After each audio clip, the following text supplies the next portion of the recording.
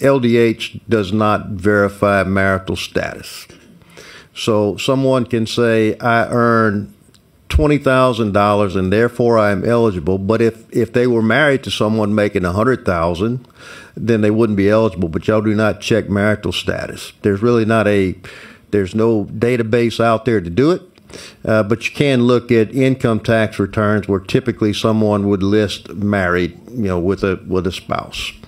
While we're talking about that, uh, it's never been done before, but the state could seek what is called child support. Mm-hmm. So if a I'm going to use the example. If a mother makes twenty thousand and her children are eligible for Medicaid because of her low salary, but the children have a father making a hundred thousand, and you could identify that because they would probably claim those Medicaid children as dependents. You could go after that father for repayment of the Medicaid premiums that the state has paid because the dad is a deadbeat.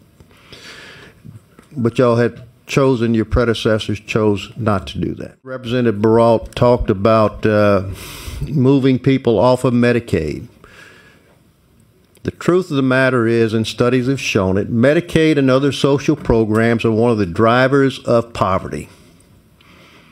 Because, let's just call Medicaid a $7,000 a year uh, benefit, and it's income based. So if I make too much, I lose the benefit. All right. So if someone, if the cutoff, the, the magic cutoff is 25,000, right?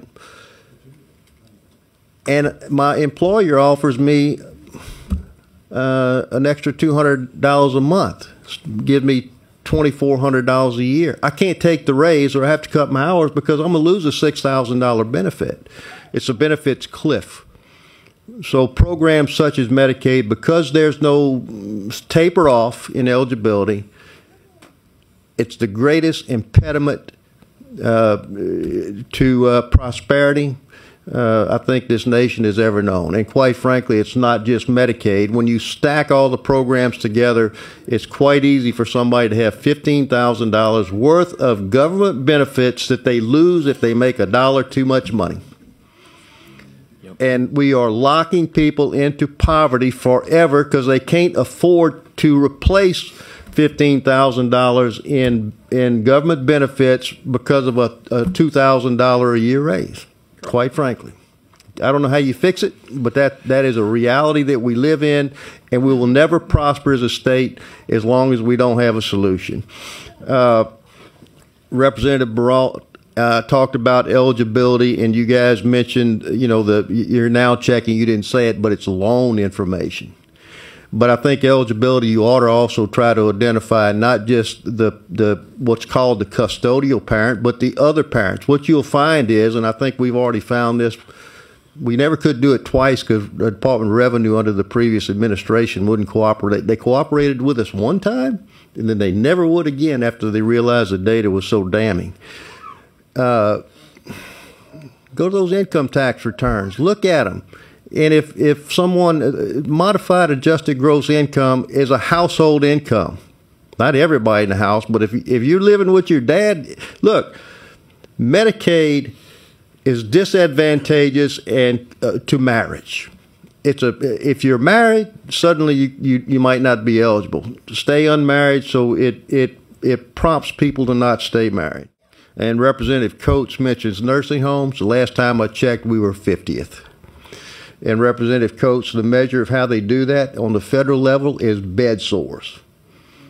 And the more bed sores you have is a direct indication you're not being taken care of. So it's very measurable, and we're last. And it's a shame, but we're last.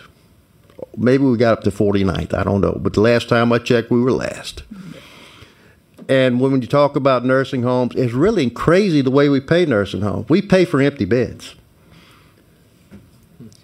If someone has a nursing home bed and suddenly they're they're critically ill and they go to the hospital for two months or they go to hospice somewhere, we continue to pay for that bed even though we're not using it. And just so you know, most of the medic- uh, most of the nursing home patients are what's called dual eligible. They have Medicare that covers the hospital stay. Medicaid covers the uh, the, nursing home bed. There's no incentive to take care of those bed sores because they're going to get paid whether they there or in the hospital. So we are create a situation where there's not really an incentive. If I told the nursing home as soon as that person leaves because they got bed sores all over their body to go to the hospital to be treated, you're not getting another dime. Guess what they would do? They'd make sure they had less bed sores. But that's a policy change that needs to take place with you guys. Simply say, if they're not laying in the bed tonight, you're not getting paid tonight. And guess what? I bet quality of care goes way up, but you got to be willing to take the heat for doing it.